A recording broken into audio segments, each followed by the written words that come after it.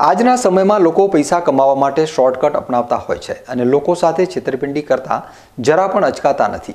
ત્યારે ડીસામાં પણ આવો જ એક શખ્સ જેને લોકો સાથે છેતરપિંડી કરી હોવાની ઘટના સામે આવી છે.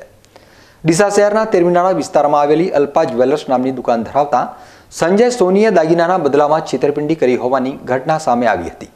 આ શખ્સ દ્વારા કેટલાય લોકો સાથે છેતરપિંડી કરવામાં આવી હતી.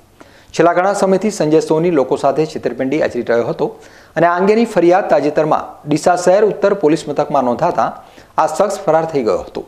ત્યારે પોલીસે પોતાના બાતમીદારની મદદથી આ શખ્સને ઝડપી પાડવામાં સફળતા મેળવી છે.